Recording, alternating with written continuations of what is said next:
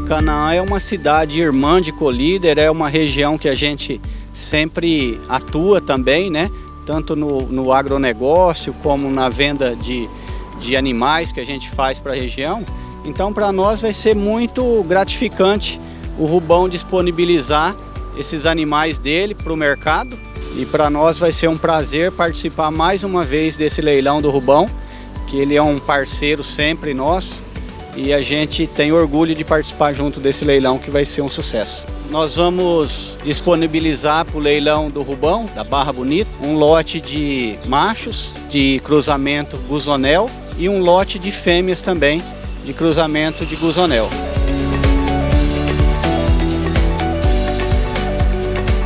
É dia 31 de maio, a transmissão é pelo Agrocanal, a realização é Ricardo Nicolau Leilões e o leilão é Barra Bonita, Nova Canaã do Norte, Mato Grosso, Brasil.